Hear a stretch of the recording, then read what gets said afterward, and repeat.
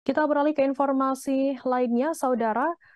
Seorang mahasiswa dinyatakan meninggal dunia selesai tersambar petir saat berkemah di wisata Argo Agro Bukit Warwangi, Desa Cibojong, Kecamatan Pada Rincang, Kabupaten Serang pada Jumat 23 September.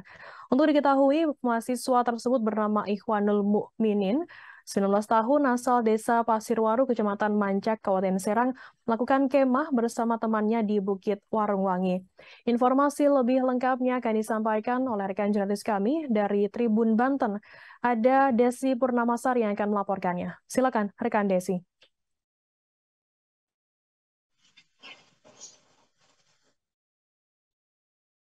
Iya, baik. Terima kasih rekan Firda dan juga selamat siang Tribuners uh, sebelumnya memang telah diinformasikan bahwa satu orang uh, dinyatakan meninggal dunia.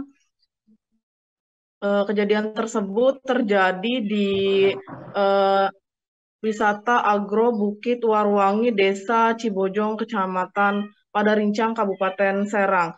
Uh, satu orang tersebut yakni seorang mahasiswa asal Desa Pasirwaru, Kecamatan Mancak, Kabupaten Serang, dinyatakan meninggal dunia akibat tersambar petir pada Jumat 23 eh, September 2022 kemarin. Menurut informasi dari Kepala BPBD Kabupaten Serang, Nana Sukmana, ia membenarkan peristiwa tersebut dan ia mengatakan bahwa uh, peristiwa tersebut terjadi pada pukul 11.30 waktu Indonesia Barat uh, dan pada saat uh, kejadian tersebut memang di lokasi wisata Agro Bukit Warwangi tersebut sedang uh, terjadinya hujan lebat. Dan pada saat uh, peristiwa tersebut terjadi posisi uh, korban dan juga rekannya ini sedang berada di dalam uh, tenda.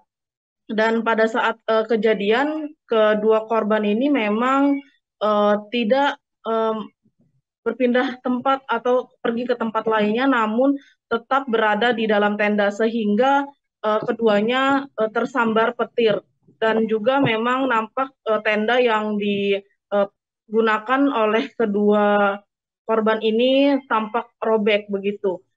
Dan satu orang memang dinyatakan meninggal dunia, sementara uh, satu rekannya kini dilarikan ke puskesmas terdekat untuk dilakukan pemeriksaan lebih lanjut. Sementara itu untuk korban meninggal dunia uh, telah dibawa oleh tim Inavis guna dilakukan penjemputan oleh pihak keluarga. Begitu rekan Firda. Baik, terima kasih rekan Desi Purnamasari dari Tribun Banten atas laporan Anda. Selamat bertugas kembali. Jangan lupa like, subscribe, dan share ya.